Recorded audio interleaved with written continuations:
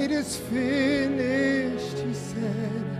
We are watched as his life ebbed away. And we all stood around till the gods took him down. Joseph begged for his body on that day. It was late afternoon when we laid him in the tomb, wrapped his body and sealed up the grave.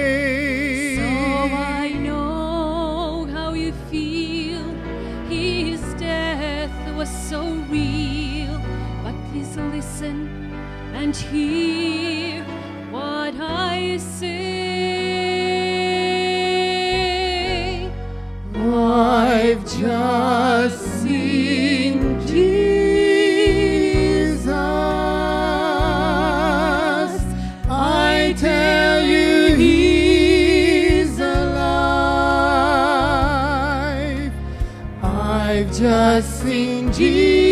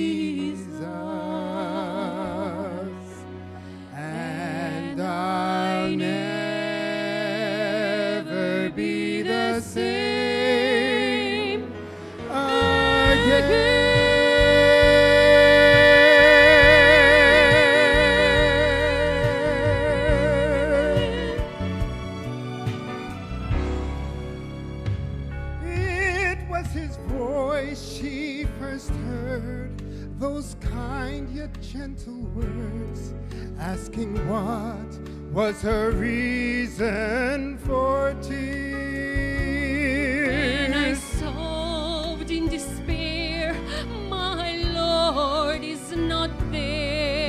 said, Child,